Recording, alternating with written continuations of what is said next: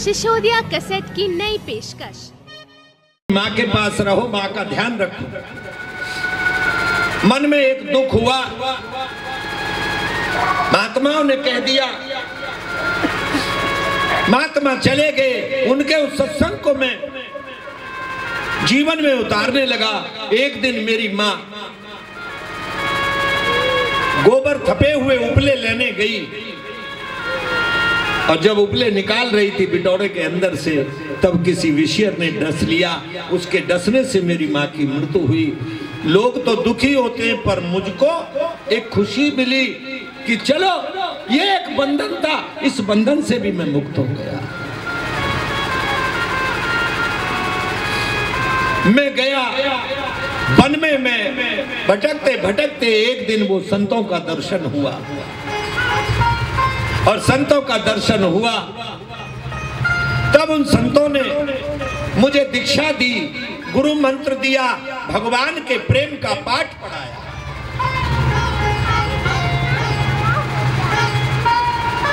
भगवान के जो प्रेम का पाठ पढ़ते हैं, प्यारे, उनको संसार का पाठ पढ़ने की आवश्यकता नहीं है।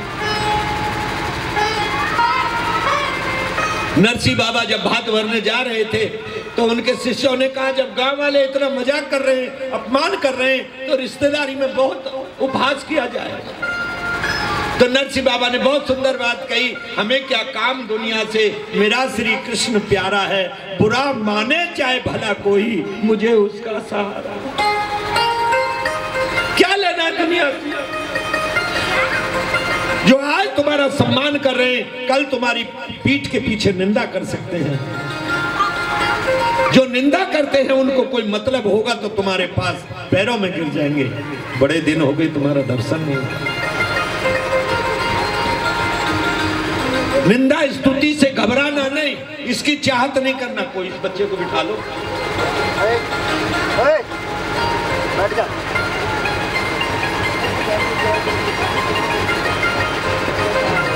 कोई ना जो बैठ जा ये तुम्हारी स्वयं की ड्यूटी है, जिसके साथ भी कोई बच्चा है, उसका ध्यान रखो, उसको छोड़ो मत इस तरह। ठाकुर जी का रूप है बच्चे, लेकिन अब तुम्हारा तो दृष्टि ठाकुर जी पे, हमारी दृष्टि आप लोगों की तरफ़ जा रही है तो कोई बालक शैतानी करता है तो हमारा ध्यान बढ़ता है श्री हरि। नारद बाबा कहते हैं, एक दिन मैं महात्माओं के दिए हुए मंत्र जाप करते करते समाधि लग गई और मुझे दर्शन हुआ। भगवान श्री हरि का दर्शन हुआ। भगवान कह रहे हैं, पुत्र, बहुत शीघ्र तुम मेरे लोक को प्राप्त हो गए और फिर तुम देव ऋषि की पदवी पाके नारद रूप में जन्म लोगे। व्यास जी, मुझे देखो, मेरे ऊपर प्रभु की कितनी कृपा है। ये सत्संग का फल है।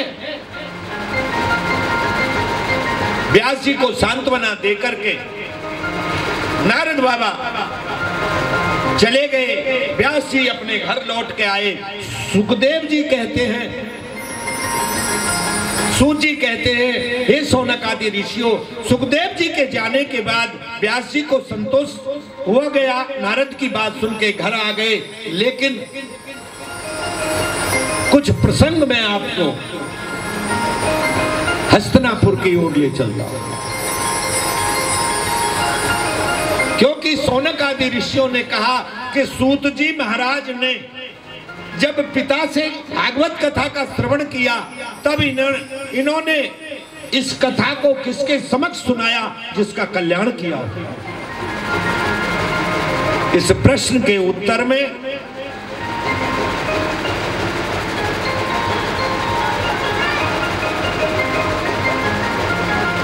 सूची कह रहे हे शौनक आदि ऋषियों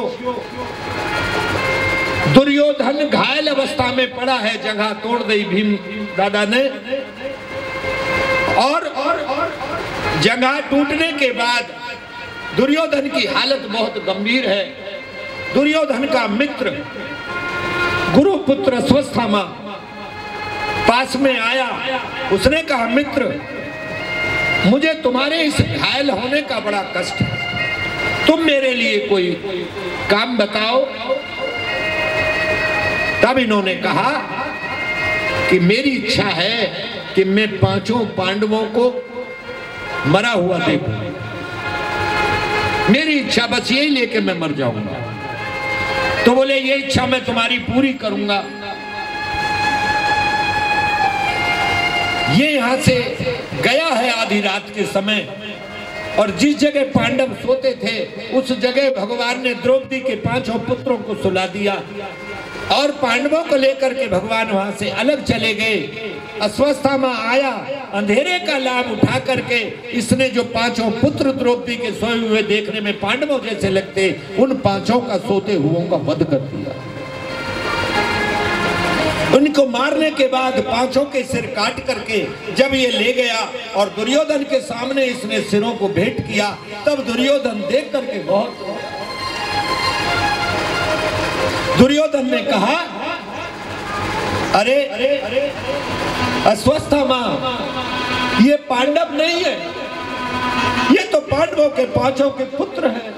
तूने आज हमारे कुल को समाप्त कर दिया।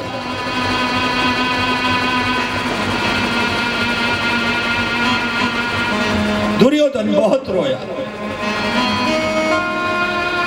अस्वस्थामा ने सोचा अब मैं क्या करूँ? अस्वस्थामा ने पाँच बाण उन पांडवों को मारने के लिए छोड़े। ठाकुर जी सामने आ गए। जाकू राके साइया मार सके ना। भगवान ने इनकी रक्षा करी। अस्वस्थामा यहाँ से दूर चला गया। सोचने लगा मैं क्या करूँ? श्री सूजी महाराज कहते हैं, हे सोनक आदि ऋषियों, उत्तरा, जो अभिमन्यु की पत्नी है, उत्तरा के गर्भ में एक बालक, उस बालक को एक समूल गर्भ नाश कर दूँगा। एक इसने ब्रह्मास्त्र को छोड़ा। भगवान विदा हो रहे हैं अस्तनापुर के किले के द्वार पे सब लोग खड़े। कुंती मैया आई ठाकुर जी को सब विदा कर रहे हैं, ये आज द्वारका जा रहे हैं। ये महाभारत के युद्ध समाप्त होने के बाद। और जिस समय भगवान जा रहे हैं तो भगवान को जाते हुए देख के कुंती बहुत रोई। कुंती ने कहा, अपने पुत्रों से, अरे पुत्रों, ये जिनको तुम अपने मामा के पुत्र मानते हो ये तुम्हारे मामा के पुत्र नहीं, ये साक्षात श्री हरि का स्वरूप है। कौरवों ने नहीं माना। धृतराष्ट्र ने भी नहीं माना भगवान है परमात्मा। पांडवों ने माना क्योंकि कुंती मानती है, भगवान है। कुंती को जब रोते हुए देखा तो भगवान ने कहा बुआ, आओ, आगे आओ। क्या बात? आप इतनी अधीर क्यों? इतने दिन तक तो मैं यहाँ रहा। अब जाना तो पड़ेगा द्वारका। तब कुंती ने कहा, श्याम सुंदर, मैं तुमसे कुछ मांगना चाहता भगवान ने कहा, बुआ, ऐसी कौन सी वस्तु है जो मैं आपको नहीं दे सकता? आप मांगो। कुंती ने कहा, श्याम सुंदर सारे संसार के दुख तुम मेरी झोली में डालो। संसार के दुख मेरी झोली में डाल दो। भगवान ने कहा, बुआ, सारा संसार सुख की कामना करता है। तुम दुख क्यों मांग रहे हो?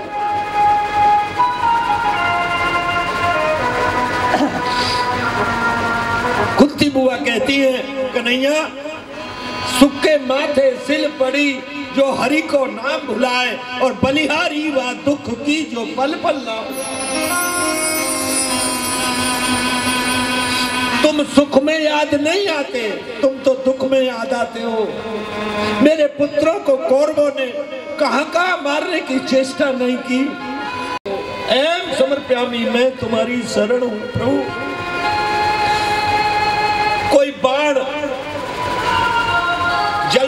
बाण और मेरे अंदर गया है पेट में, बहुत पीड़ा हो भगवान छोटा सा स्वरूप बना करके श्वास नली से उत्तरा के गर्भ में चले गए।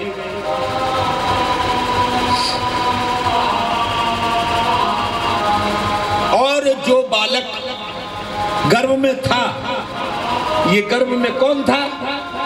महाभाग्यशाली परम भागवत श्री कृष्ण कृपा पात्र पांडवों के पौत्र पोते श्री परीक्षित जी महाराज थे, जो अश्वत्थामा के बाण से ये गर्भ जल चुका था। पर भगवान अंदर गए, अपनी कृपा से भगवान ने उस गर्भ को जीवित किया। और नौ महीने तक मेरे प्रभु अंगुष्ठ अंगुष्ठ प्रमाण, अंगूठे जैसा स्वरूप से, नौ महीने तक गर्भ में एक स्वरूप से चक्र लेकर के मेरे प्रभु ने उस गर्भस्थ बालक की रक्षा की। भगवान ने कहा, जा तो रहे हैं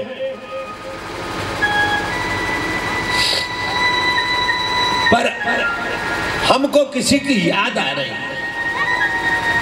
और याद किसकी आ रही है? भगवान को जो याद करता है, भगवान भी तो उसी की याद करते हैं। छह महीने होने जा रहे हैं। बाबा भीषम चौरासी बाणों की सैया पे जो अर्जुन ने मारे हैं, उनके ऊपर टंगे हुए हैं। और एक ही आवाज़ निकलती है। हरे कृष्ण हरे कृष्ण हरे कृष्ण। पांडवों को लेकर के जिस समय आए हैं भगवान श्याम सुंदर, नेत्र बंद करके भीषम जी बस एक ही ध्वनि मुख से निकल रही है, एक ही रट लगी है। हरे कृष्ण हरे कृष्ण।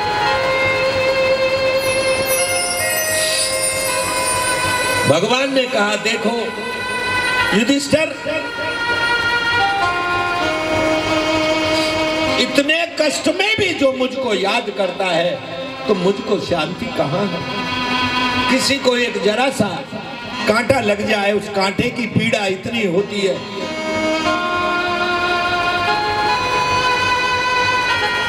लेकिन चौरासी बाणों का कष्ट कितना है? सब रुधिर निकल गया काया का। श्याम सुंदर आए। भगवान श्याम सुंदर ने आकर के कहा, तुम मुझे याद कर रहे थे, देखो मैं आ गया। भीष्म जी ने नेत्र खोले, प्रभु को प्रणाम किया।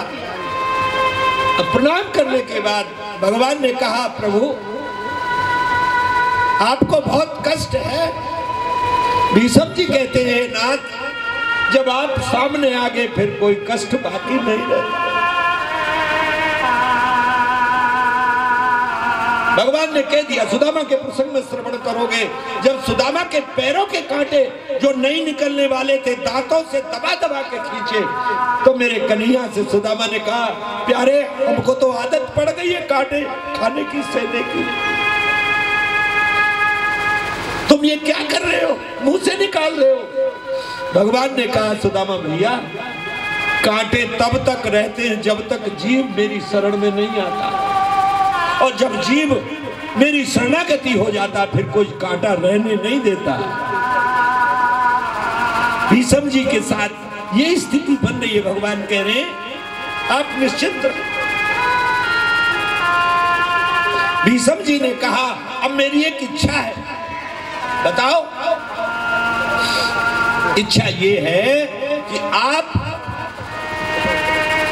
आएँगे, तब बड़े बड़े योगी तुम्हारे आने की राह देखते हैं कि तब प्राण त्यागे। पर मेरी इच्छा है, आप तब तक मेरा इंतज़ार यहाँ करो, मेरी प्रतीक्षा करो। जब तक मैं प्राण नहीं त्यागू, तब तक आप मेरे सन्मुख खड़े रहो।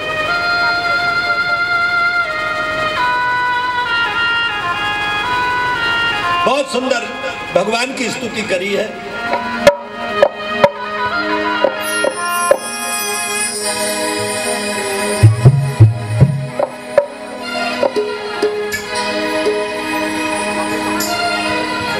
और जब छोड़ चलूँ इस दुनिया को ओटो पर नाम तुम्हारा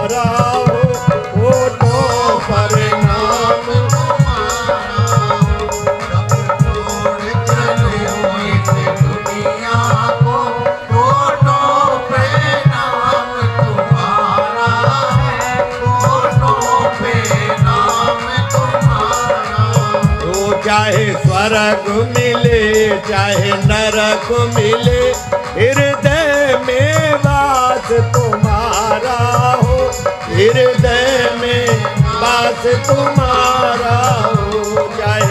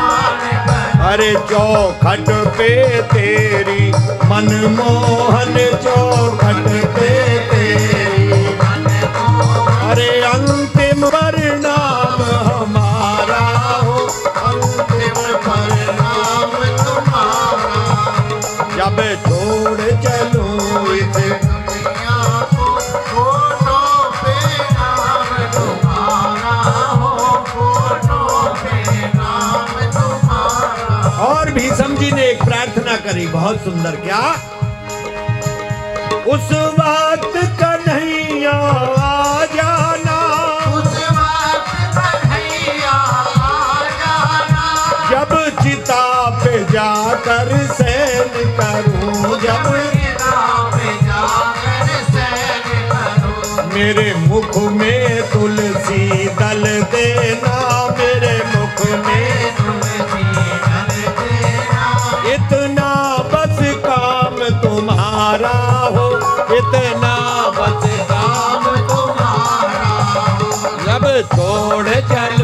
दुनिया को।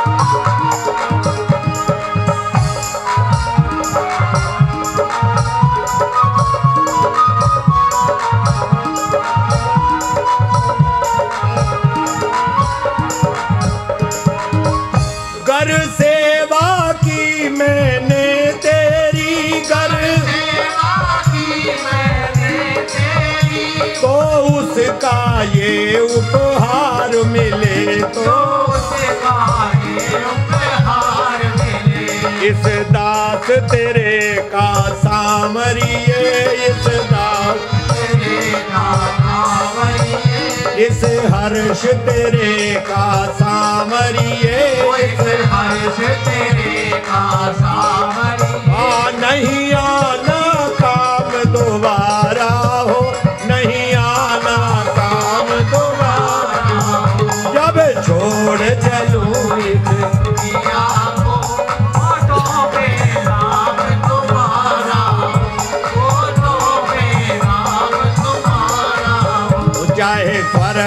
मिले चाहे नरक मिले।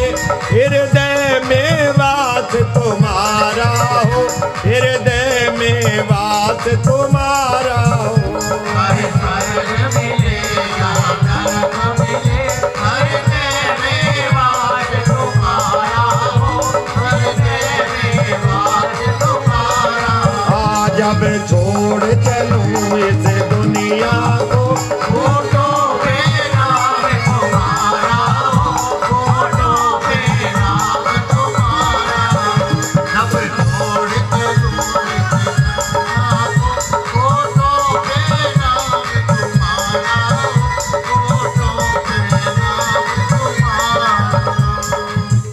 नंद के लाला की।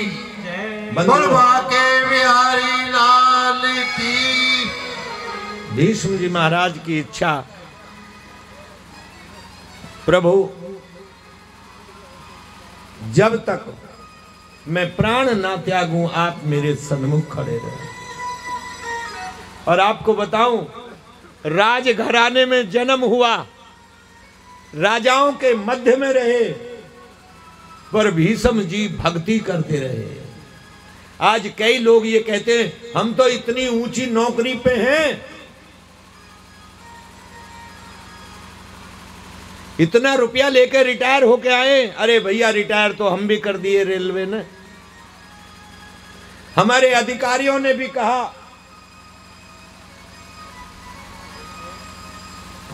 कुछ माउन पुरुषों की दान आया है। मैं उनके नाम आपके सामने बता दूँगा। हमको रुपया आपने बहुत दे दिया है। अब क्या करना है?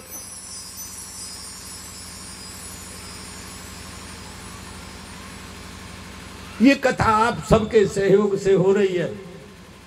प्यारे, एक निवेदन सबसे करूँगा। विशेषकर उन लोगों से जो कई बार टांग पकड़ के खींचने की कोशिश करते हैं। ध्यान रखना हम यहाँ बैठे हैं, इस व्यास पीठ से। आपको एक बात समझा देना चाहते हैं कि हमने ना आज तक कोई रुपया लिया, और आगे भी जो भी हम कथा करने कहीं जाएँगे, अपने मुख से हम कुछ नहीं किसी से मांगेंगे। हमको कुछ नहीं चाहिए। अरे खर्चा आप कर रहे हो रस हम पी रहे हैं, बताओ।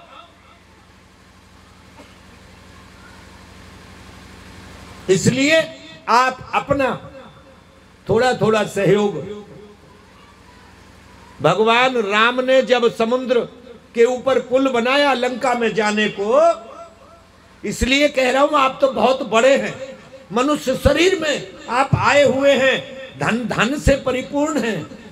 परिवार वाले हैं, आपके मन में श्रद्धा भाव भगवान के प्रति है। क्षत्रिय जाति में आपका जन्म हुआ है। चाहे क्षत्रिय कोई ब्राह्मण हो चाहे कोई वैश्य हो या अन्य किसी जाति का हो कोई भी जीव यहाँ आया है, सदैव ध्यान रखना। भगवान सबका रुपया नहीं लगवाते अपने नाम की कथा में। वो तो कोई बहुत बिरला होता है, भगवान जिसको आदेश कर देते आजा। उसके मन में एक भाव जागता है।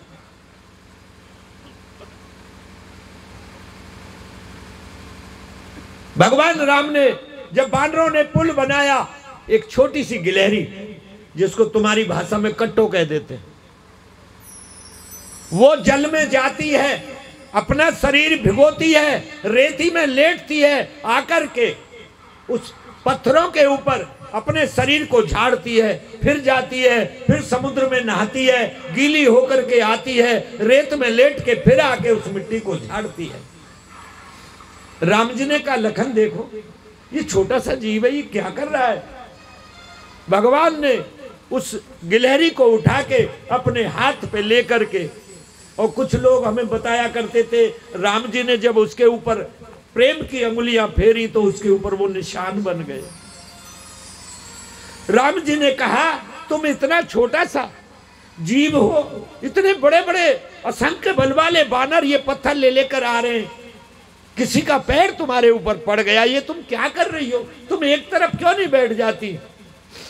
मालूम है गिलहरी ने क्या कहा, राघव,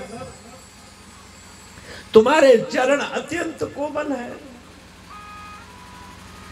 और ये पत्थर ऊँचे नीचे है।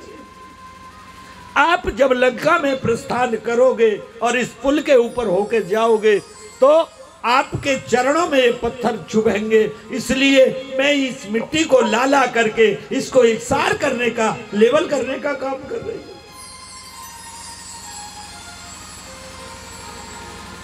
एक छोटा सा जीव राम जी की सेवा कर रहा है।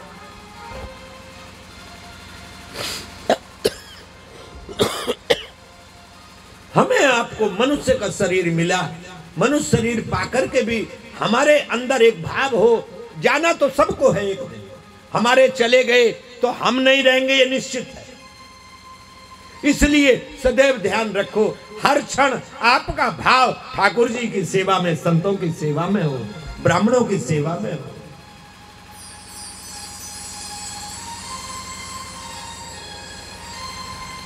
भीषम जी महाराज, भगवान का दर्शन करते करते प्रभु के श्री धाम को, जिस दिन आपका ये पर्व आता है चौदह तारीख को। मकर संक्रांति, इस दिन भीषम जी इसीलिए हमारे यहाँ की परंपराएँ बड़े बूढ़ों को मनाती हैं बहुओं।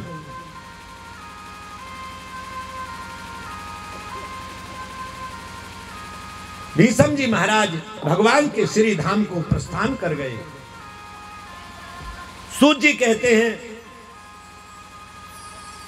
भगवान श्याम सुंदर के देखते देखते ये श्री हरि के धाम को चले गए भीषम जी इधर भगवान द्वारकापुरी को चले गए, प्रस्थान कर गए। सब आनंदित हैं। एक दिन युधिष्ठर जी महाराज ने अर्जुन को द्वारका भेजा। बहुत समय हो गया, प्रभु की कोई खबर नहीं मिली। जब अर्जुन को कई महीने हो गए, अर्जुन नहीं आए हैं, तब युधिष्ठर एक दिन बड़े चिंतित हैं और चिंता करते करते भीम दादा से चर्चा कर रहे। भीम भैया अर्जुन को गए हुए कई महीना निकल गए। अभी तक कोई कुशलता का समाचार नहीं मिला। ये चर्चा चली रही थी उसी समय। बहुत पीड़ा से पीड़ित मानो कितने दिनों का ये बीमार है। अर्जुन गिरते, पड़ते, लौटते हुए और जो ही युधिष्ठर के सामने पहुँचे, अर्जुन की दशा देख करके युधिष्ठर जी महाराज ने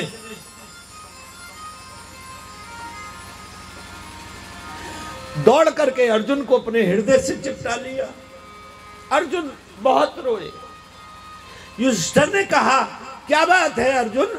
बताओ पार्थ द्वारका से आए हो, प्रभु से मिल करके आए हो, आप उनकी कुशलता का समाचार बता। अर्जुन ने कहा, भैया, हम लुट गए। हम तो सुनते थे वो छलिया है, छल करते, पर वो हमको भी छल गए, हमको छोड़ करके चले गए। द्वारका में जो छप्पन करोड़ यदुवंशियों का उस मूसल के चूर्ण से जो उत्पन्न वो घास, जहरीली घास हुई, उससे सारा यदुवंश समाप्त तो हो गया। प्रभु भी अपने श्री धाम को चले गए।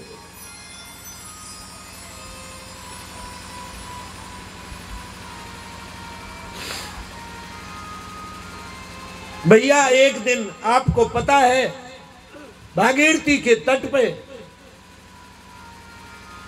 एक ब्राह्मणी बैठी थी, तीन तलवार लेकर के। हम तुम सब गए, हमने, भगवान ने उनसे कहा, ये तीन तलवार क्यों लेके बैठी हो?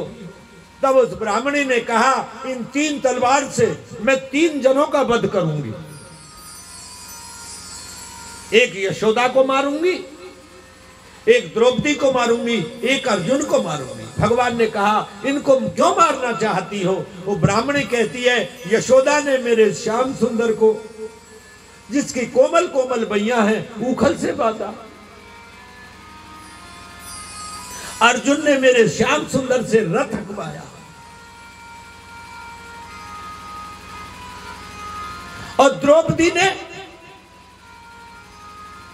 मेरे श्याम सुंदर को जब चाहा जब बुला लिया भगवान ने कहा, हे ब्राह्मणी, आप इनका वध मत करो, इनको कोई श्राप दे दो।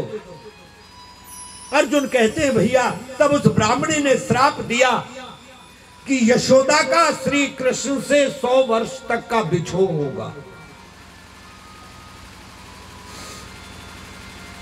सौ वर्ष का बिछोह यशोदा का होगा।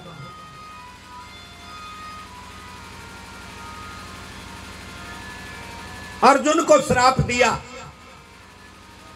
तुमने मेरे प्रभु से रथ हकवाया। जाओ, मैं तुम्हें श्राप देती हूँ। एक समय आएगा, भीलों के द्वारा तुम्हारी हार होगी। भीलों के सामने तुम पस्त हो जाओ। द्रौपदी को श्राप दिया, तेरे पतियों से पहले तेरी मृत्यु होगी, और वो सब तेरी अनदेखी करके आगे बढ़ जाएँगे। आज वो श्राप सत्य सिद्ध हो गया। प्रभु के जाने के बाद जो मेरे लिए आदेश देकर के गए, मैं सब गोपियों को लेके आ रहा था। और आते हुए में रास्ते में भीलों ने घेर लिया और मेरे गांडी बाण सब धरे के धरे रह गए।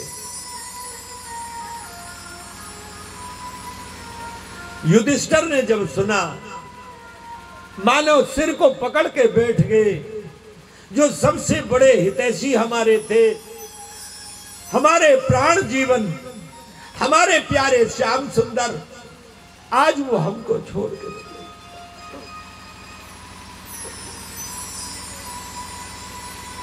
बंधुओं, जब ये समाचार राजमहल में सुना गया तो जो बुआ कुंती है, वो श्री कृष्ण के विरह में उसने अपने प्राण दे दिए, प्राण छोड़ दिए। अगले दिन ये अपने साथ भगवान श्री कृष्ण के परपौत्र वज्रनाभ को लेकर के अर्जुन आए हैं। सब गोपियों को भीलों ने लूट लिया। युधिष्ठर जी ने कहा, ये भी तरुण अवस्था में आ गए। परीक्षित जी, इनको हस्तनापुर का राज्य और मथुरापुरी का राज्य वज्रनाभ को देकर के इन्होंने हिमालय को प्रस्थान किया। इसी बीच में एक दिन विदुर जी भी आए और विदुर जी ने रात्रि में, अकेले में धृतराष्ट्र को बहुत कहा कि जिनको तुमने और तुम्हारे पुत्रों ने सदा मारने की चेष्टा की, आज तुम कुकर जैसी स्थिति में उन्हीं के रोटियों के टुकड़ों पर पल रहे हो।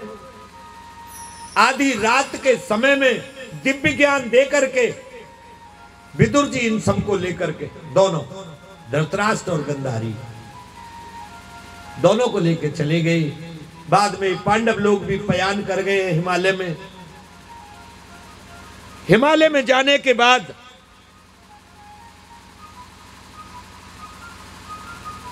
बंधुओं, सूजी महाराज आगे कथा को बढ़ाते हैं, कहते हैं, हे सोनक आदि ऋषियों, पांडवों के जाने के बाद राजा परीक्षित, जिन्होंने दिग्विजय किया, एक दिन मन में आया। हमारे दादा परदादाओं ने ऐसा जो राजाओं को जीता, उनके उतारे हुए मुकुट, कवच, कुंडल इत्यादि जो नीचे रखे हुए थे खाने में, उनको एक दिन निरीक्षण करने पहुँचे। गई? करा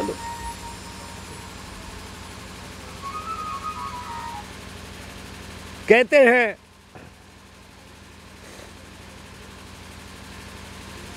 हिंद चले आओ गोपाल चले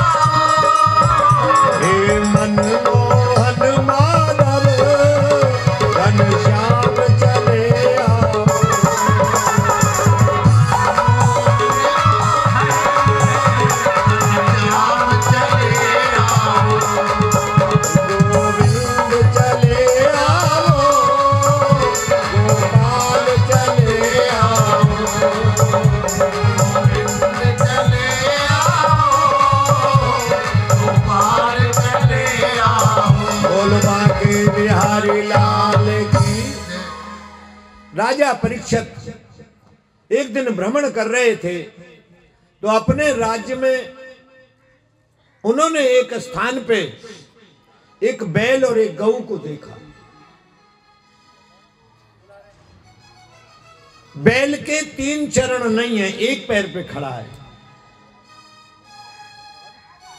और दोनों का कोई संवाद चल रहा है, सामने काले वस्त्रों में मुकुट बांधे, क्रूर स्वभाव वाला क्रूर शकल का ये व्यक्ति हाथ में तलवार, एक हाथ में हंटर लेकर के बार बार गौ और बैल के ऊपर प्रहार करता परीक्षित जी महाराज ने देखा, अरे, ये गौ ब्राह्मण भक्त है।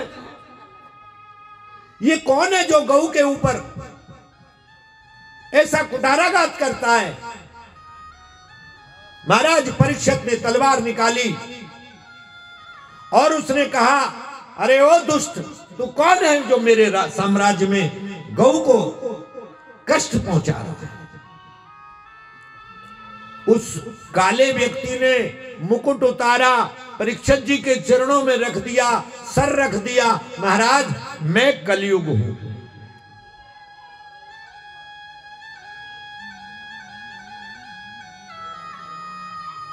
आप दोनों कौन हैं? गौ माता कहती है, मैं पृथ्वी हूँ। बैल ने कहा, मेरा नाम धर्म है, मैं धर्म हूँ। अब तीन चरण तुम्हारे कहाँ गए? ये तीन चरण सत्य, क्षमा, तप और शौच, चार चरण धर्म के होते हैं। शौच माने पवित्रता। ये तीन चरण चले गए, अब शौच का चरण रह गया। और ये कहता है कि तुम मेरे साम्राज्य को छोड़ करके भाग जाओ। अब मेरा वास यहाँ होगा। महाराज परीक्षित ने तलवार लेकर के और कलयुग से कहा, अरे दुष्ट, मेरे होते हुए तू मेरे राज में रह करके और इनको सताता है, तेरा आगमन कभी नहीं होने दूँगा। कलयुग ने कहा, महाराज, आप पांडवों के वंशज हैं। आपके यहाँ तो शरणागतों की रक्षा होती है। फिर आप मुझको मना क्यों करते हैं? इसलिए आप मुझे रहने का स्थान दीजिए। और हाँ, परीक्षक जी ने कहा, मैं तुझको रखूँगा नहीं। तो कलयुग ने कहा, सबके अंदर सब बुराई हो पर कोई अच्छाई ज़रूर होती है। मेरे अंदर भी एक बहुत बढ़िया अच्छाई है। क्या? कि और युगों में जो काम तपस्या, योग और समाधि से नहीं होता था, बहुत वर्ष लग जाते थे। वो काम मेरे यहाँ एक रात का गोविंद नाम कीर्तन करने से मिल जाता है। मज़ाक नहीं है गोविंद का कीर्तन? यथ फलम नास्ति तत्साना योगे न समाधि ना तत्फलम लबद्य सम्यक कलौ केशव कीर्तना। और युगों में जो फल तपस्या, योग, समाधि से नहीं मिलता था वो एक रात्रि का गोविंद का कीर्तन करने से प्राप्त हो जाएगा। अब परीक्षक जी सोचने पे मजबूर हो गए। उन्होंने कहा, ठीक है, मैं तुमको स्थान देता हूँ। चार स्थान बताता हूँ रहने को। ध्यान से सुनना।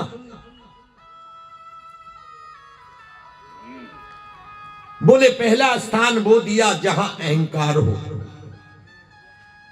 बोले, अहंकार कहाँ मिलेगा? बोले, जहाँ मदिरा पान हो। और तुम्हारी भाषा में समझाओ जहाँ शराब पी जाती हो।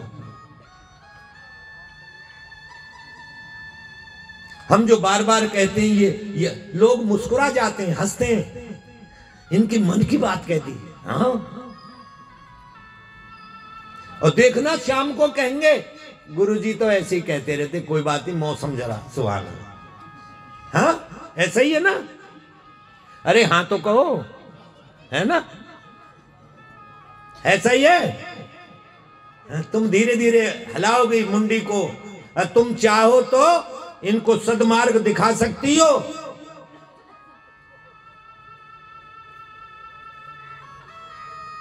माताओं में तो बड़ी शक्ति होती है। दूसरा स्थान देता हूँ, जहाँ कपट हो। महाराज, ये कहा मिलेगा? बोले, जहाँ दूध कीड़ा हो। दूध कीड़ा माने जुआ खेलते हो। तीसरा स्थान सुनो। जहाँ हिंसा होती हो, उसमें देता हूँ। हिंसा मतलब जो दूसरे पशुओं का मांस काट काट करके खाते हैं। एक संत ने लिखा है, मांस मीन जे करई हारा, चौसठ जन्म गिद्ध अवतारा। भगवान कहते हैं, इसको मनुष्य बनाया, अब तक इसने बहुत मांस खाया, अगले जन्म में मांस खाने वाला ही पक्षी बनाता हूँ। गिद्ध बना दिया, चौसठ जन्म तक लगातार गिद्ध बन करके जाएगा।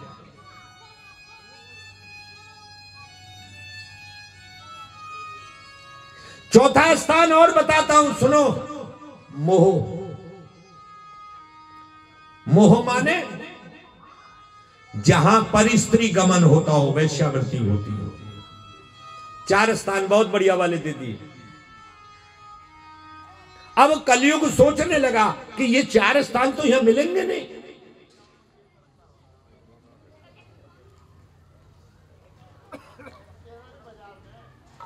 ये चार स्थान यहाँ नहीं होंगे। आप तो चक्रवर्ती सम्राट हैं। जहाँ जाऊँगा, ये जगह तो होगी नहीं। वहीं पे आप मुझको धनुष बाण लेकर के दिखाई दोगे।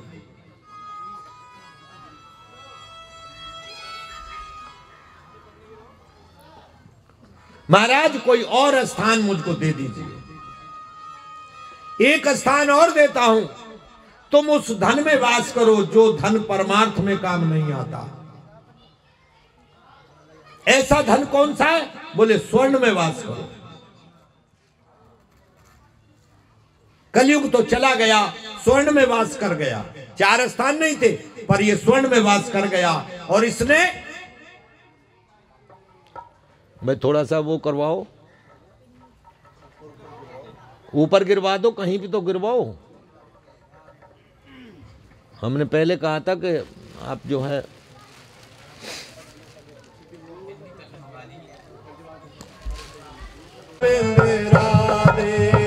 मेरा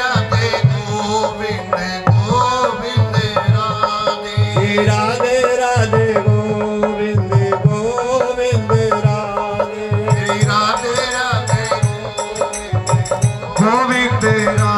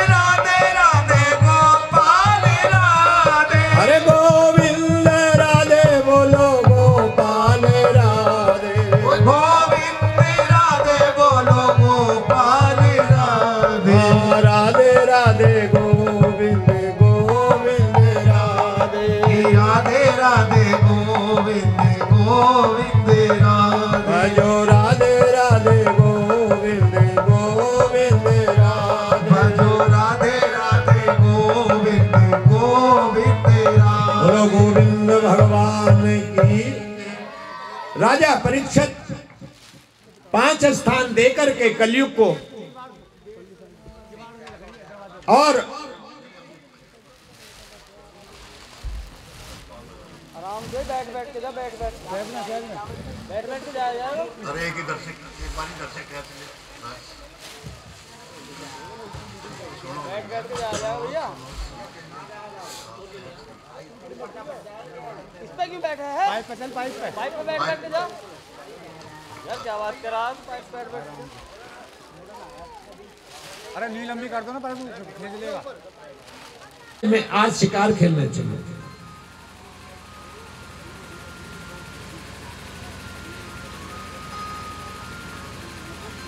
पंडित जी थोड़ा सा उधर बता लो उधर। उधर को बता लो थोड़ा उधर हो जाओ गैलरी में थोड़े। मुकुट को लगा करके मन में आया, आज मैं शिकार के आजकल, आज तक किसी निरपराध का वध नहीं किया है महाराज परीक्षित ने। लेकिन कलयुग बैठा सर पे और मन में आया, चलो आज शिकार करने चलते हैं। बहुत निरपराध पशुओं का वध करते करते घोर जंगल में पहुँचे महाराज परीक्षित और इस जंगल में महाराज शमीक मुनि का आश्रम भूख प्यास से व्याकुल राजा पहुँचे हैं। इन्होंने जाकर के शमीक मुनि को देखा, जो भजन में बैठे थे। पर राजा परीक्षित के सर पे कलयुग वास करता है।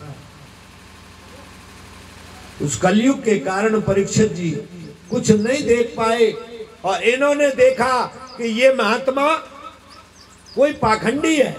हमको देख करके नेत्र बंद करके बैठ गया। अरे, हम इसको अभी दंडित करेंगे। आश्रम से बाहर गए, कोई मरा हुआ सर्प देखा लाकर के शमीक मुनि के गले में डाल दिया और राजा परीक्षित वहाँ से चले आए। शमीक ऋषि का एक बेटा है, श्रृंगी ऋषि, जो बालक है बालकों में खेल रहा था। स्नान करते समय किसी बालक ने आकर के कहा श्रृंगी तुम्हारे पिता के गले में किसी राजा ने मरा हुआ सर्प डाल दिया। उसी समय जल में खड़े खड़े दोनों हाथों में जल लिया और जल लेकर के कहा कि जिस राजा ने मेरे पिता के गले में मरा हुआ सर्प डाला है जिस राजा ने, पता नहीं है कौन? उसको आज से सात दिन बाद तक्षक नाग के डसने से मृत्यु हो जाएगी। ये श्रृंगी ऋषि आश्रम पे आए, आकर के पिता के गले से मरा हुआ सर फेंका और पिता के गले से लग के बहुत रोए। पिताजी एक राजा ने आपके गले में मरा हुआ सर्प डाला, पर मैंने उस राजा को दंडित कर दिया। आज से सात दिन बाद उसको तक्षक डसेगा और उसकी मृत्यु हो जाएगी। शमीक ऋषि ने नेत्र बंद करके ध्यान धर के देखा। ध्यान में आए, महाराज परीक्षित आश्रम पे आए। महात्मा ने कहा, बेटा, तुमने श्राप गलत आदमी को दे दिया। वो तो पांडवों के वंशज हैं।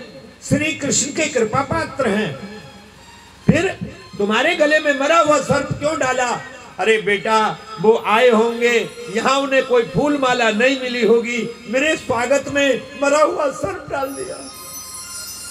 संत कभी किसी की बुराई को आंकता नहीं है। उसी समय शमीक ऋषि ने अपने गौरमुख नाम के शिष्य को हस्तनापुर पटाया।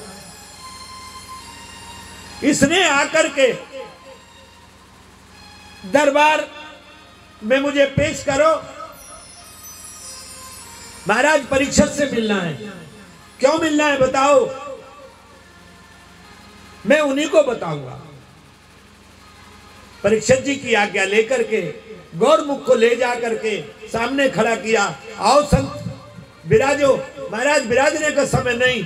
मैं महाराज समीक ऋषि का शिष्य हूँ। गौरमुख मेरा नाम है।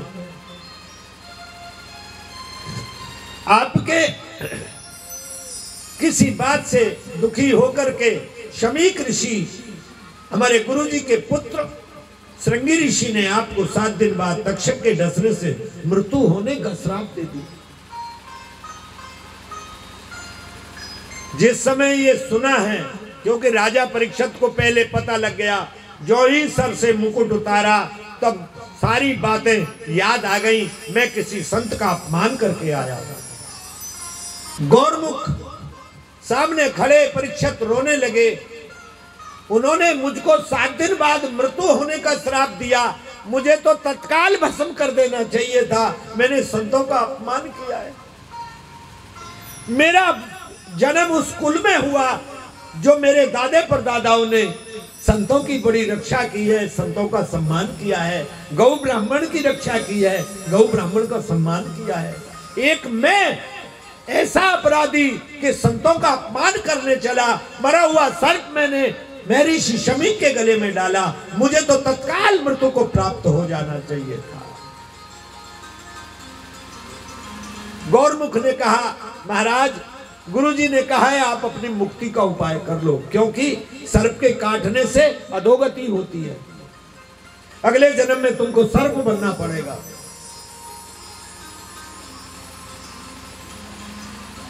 राजा परीक्षित उसी समय मुकुट उतार के रखा।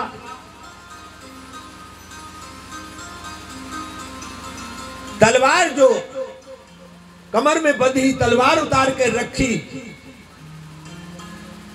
जो राजसी वेशभूषा है, उसको सबको त्याग दिया। आज एक महात्मा का वेश बना दिया।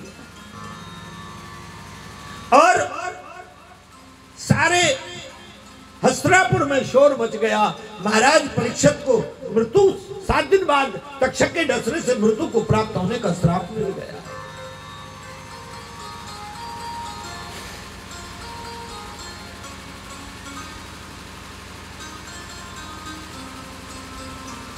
सारे प्रजाजन इकट्ठा हो गए। परीक्षित जी महाराज की रानी खड़ी है सामने। परीक्षित के पुत्र हैं जन्मे जी। उनको कहा, बेटा, अब समय नहीं है, मैं तुमको राज तिलक करूँ। अब अपना संभाल लेना, अब मैं चल और जिस समय अपने उस राजमहल के सभा के द्वार पे मस्तक टेका है। बंधुओं परीक्षक जब चले